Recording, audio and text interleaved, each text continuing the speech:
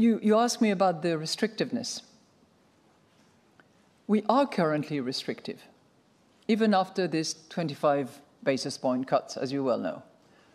And we were today more restrictive in real interest rate terms than we were back uh, in September. So what we're doing here, as indicated by our chief economist Philip Lane, is removing a degree of restriction. We are moderating the level of restriction that applies. That's exactly what we are doing at the moment. How long will that take? As I said, I cannot tell you now. At what speed which will it, will it uh, happen? I cannot tell you now either. It will be delivered by the data. I'm sure that you will hear some of my excellent colleagues take their view. You know, it will take such time. It will move at such speed.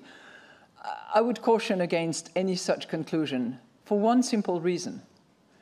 We know the path we are on, we are on, but we also know that there will be other bumps on the road. I said last time when we were together that we were traveling that journey on a road that was downward towards the 2%, but that there would be bumps on the road.